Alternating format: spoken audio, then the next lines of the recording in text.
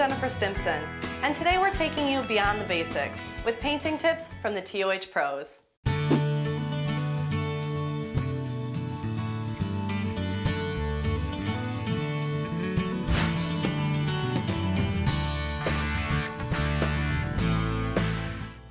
Even furniture moved to the center of the room could be damaged by a paint splatter or a spill. That's why a pro covers everything.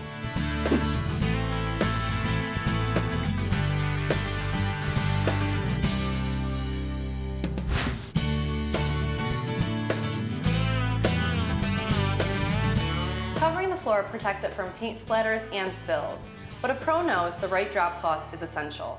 A plastic sheet is slippery underfoot, while a canvas cloth will let the paint seep through.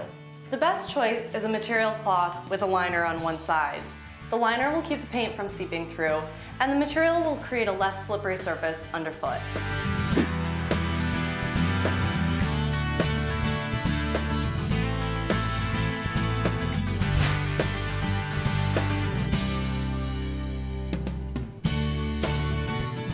Everyone knows to cover the decorative escutcheon around a light or doorknobs, but a pro will also cover the piece with a bag or a rag to protect it from paint splatters.